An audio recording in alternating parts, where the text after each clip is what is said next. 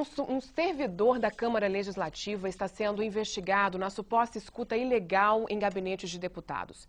A Polícia Civil vai fazer uma varredura nos telefones de todos os distritais.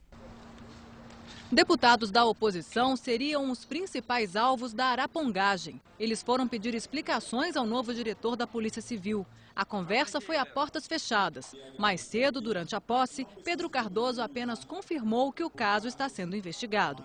Estou tomando posse agora, vou me inteirar dos fatos e espero é, apresentar informações o mais rápido possível. Aos parlamentares, o diretor teria dito que os dois policiais civis de Goiás, presos semana passada, estavam preparados para fazer a suposta escuta ilegal. Tinham até um laptop que está sendo analisado pela polícia. Eles assumem que é, prestam serviço de espionagem, né? eles assumiram isso para a Polícia Civil.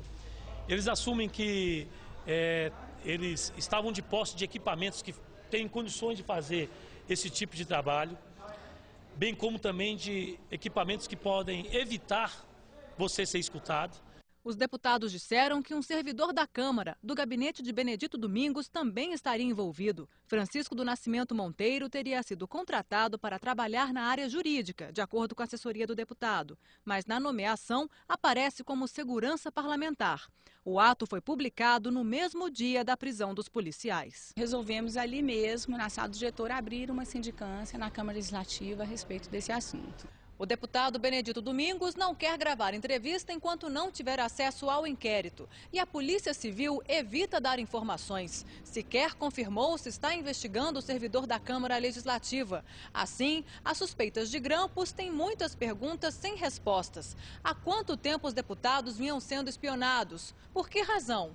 E amando de quem?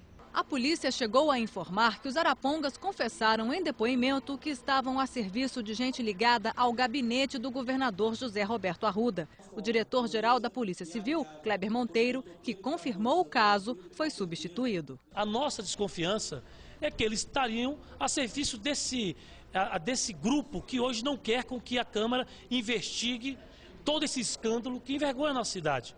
As maiores suspeitas de espionagem são nos gabinetes de Érica Cocai, do PT, e Jaqueline Roriz, do PMN. Outros petistas, Chico Leite, Cabo Patrício e Paulo Tadeu, o pedetista Regufe e Alírio Neto, do PPS, estão desconfiados. E até uma governista, Eliana Pedrosa, do DEM. Na dúvida, a polícia vai fazer uma varredura à caça de grampos nos gabinetes e nos celulares de todos os deputados distritais. A Polícia Civil de Goiás abriu inquérito. A assessoria do governador negou qualquer envolvimento com o grampo ilegal. O servidor da Câmara, Francisco do Nascimento Monteiro, disse que se encontrou com os policiais goianos em frente à Câmara para pagar parte da instalação de um sistema de segurança privado. O equipamento seria instalado no prédio da comunidade cristã missionária, da qual ele é presidente. Francisco do Nascimento Monteiro disse desconhecer a instalação de escutas ilegais e o suposto envolvimento de policiais.